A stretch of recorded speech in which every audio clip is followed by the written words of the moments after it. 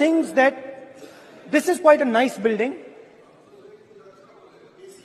Nice, nice peacocks. Nice peacock feathers on the ground. Nice peacock feathers in the chair. It's a nice, tasteful building.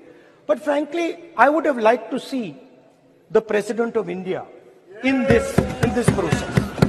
The President of India is a woman. She represents the tribal community.